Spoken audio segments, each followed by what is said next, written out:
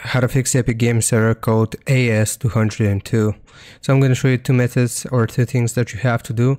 So for the first one, we want to exit out Epic Games, open up our computer search and search for Epic Games Launcher and you should be able to find the app here.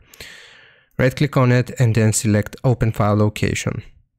Now right click on the Epic Games Launcher, go to properties Go to the compatibility tab and check these three options that I'm going to show you. So this is the first one, run this program in compatibility, compatibility mode 4.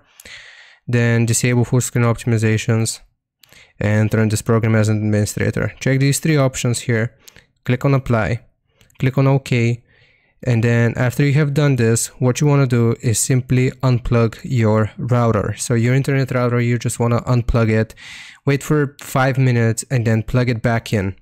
So after you have unplugged and replugged your router, it is going to assign you a new IP address and that's basically that basically should fix your issue so hope this helps you out leave a like and sub and i'll see you next time